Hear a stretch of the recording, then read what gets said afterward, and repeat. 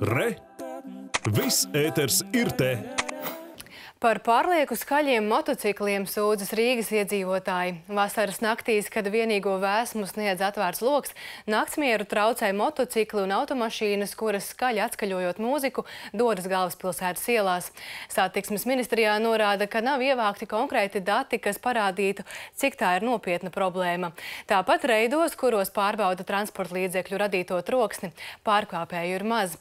Taču Rīgas mērs apgalvo, ka sūdzību ir daudz. Plašāk stāsta Dāvis Freidenfelds. Par motociklu radīto troksni pilsētās, īpaši vasaras laikā, netiek runāts pirmo gadu. Lai gan izveidotās trokšņa kartes rāda, ka skaņas piesārņojums ir pārāk liels, nav pilnas pārliecības, vai gluži tieši motocikli ir lielākie vaininieki.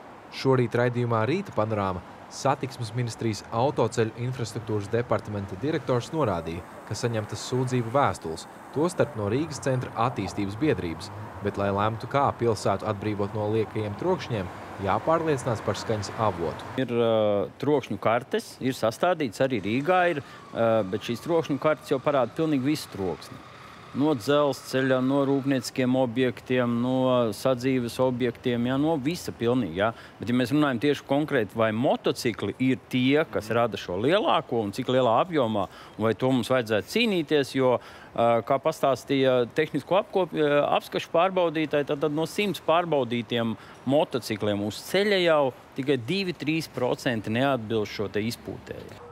Pašlaik ir divi veidi, kā tiek konstatētas neatbilstīgas, pārāk skaļas moto un auto izplūdes sistēmas, ejot igadējo tehnisko apskati un skaņu reidos. Šajās negaidītajās pārbaudēs sadarbojas valsts policija un ceļu satiksmes drošības direkcija. Policija drīkst apturēt satiksmes dalībnieku, bet drošības direkcija veikt skaņas pārbaudi. Rīgas mērs Mārtiņš Staķis apliecina, ka šovasar saņemti vairāki desmiti sūdzību, un aicina skaņas pārbaudas ļaut veikt arī pašvaldībai. Jo iedzīvotājiem jau vienalga, vai tas ir kāds mazs skūteris un noraut izpūtēju automašīnu, kurā vienkārši dārda mūzika, vai tas ir jā, motocikls ar kādu sporta izpūtēju. Vienkārši, ja viņa naktsmiers ir traucēts, viņš vēlas, uh, lai šī problēma tiktu atrisināta. Mans priešlikums, ka šādus reidus varētu veikt ne tikai ceļu policija, bet arī pašvaldības policija. Rīgā reģistrēta trešā daļa no visiem valstī reģistrētajiem motocikliem – ap 10 tūkstošiem, bet mopēdu esot ap 5 tūkstošiem, pauda satiksmes ministrijā.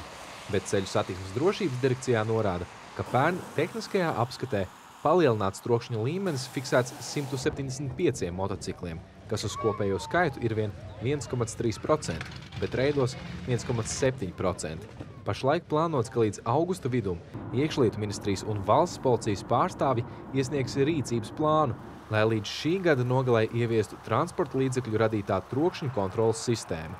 Dāvids Frenefelds, Ingus Graudiņš, Latvijas.